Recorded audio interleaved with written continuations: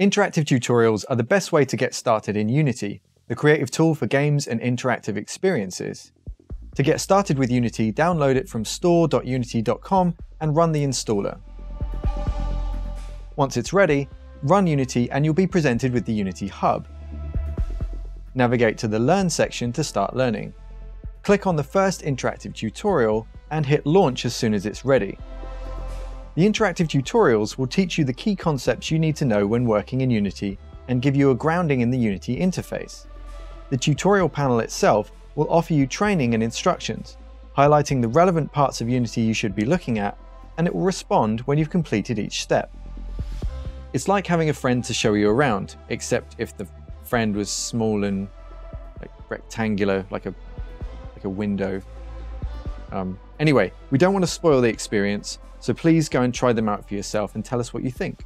We really hope this new system helps you to get started in the world of Unity, and we're looking forward to meeting you in the community soon. Thanks for watching.